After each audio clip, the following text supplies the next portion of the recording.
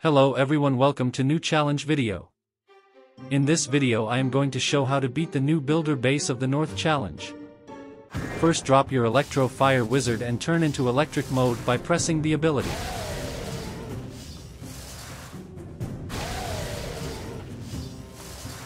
Then drop your Battle Machine followed by two Night Witch from the Builder Hall side.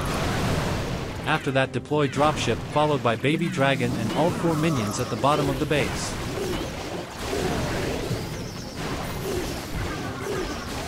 Wait for your battle machine to charge fully before pressing its ability.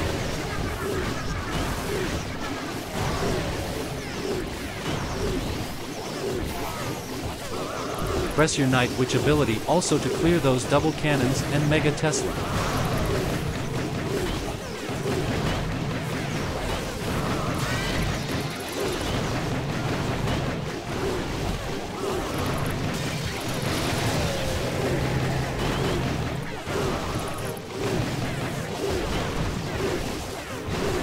This base is easily 3 starred. Thanks for watching the video see you in the next one till then bye.